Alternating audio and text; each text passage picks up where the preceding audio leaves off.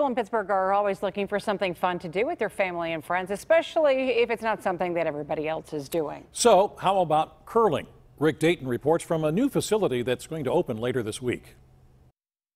How hard can it be? As easy as it looks on TV, I promise you it's not. It is one of the more difficult sports to have ever tried in my life. Three Greenfield guys who opened four axe throwing locations called Lumberjaxes are circling up to give Pittsburgh a place to go curling. We knew we'd catch on here quick.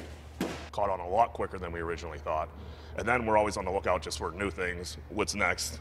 Stay in front of it and uh, curling. Curling's up next. It's called Sliders in Millvale. Slide a 40 pound granite stone down a sheet of ice. Stop it on a target. The closer to the middle, the more points you get. Meanwhile, your opponent uses their colored stones to knock yours away and steal your points. The sliders rules are a bit different from the Olympic game. For starters, this version has no brooms. Sweeping on the ice and running up and down, it's so easy to just really fall and hurt, injure yourself. So we kind of wanted to, to make this something that anyone can do safely. Really, a little bit of a revision when it comes to curling. In the real thing, you would slide down the ice and let your stone go. But here, for safety reasons, you start down on one knee, you eye it up, and you let it fly.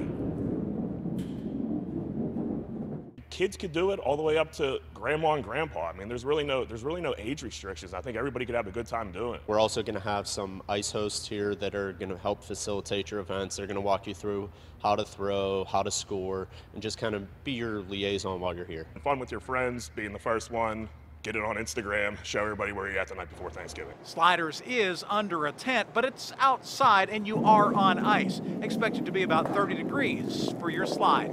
Curling up to something new. Rick Dayton, KDKA News.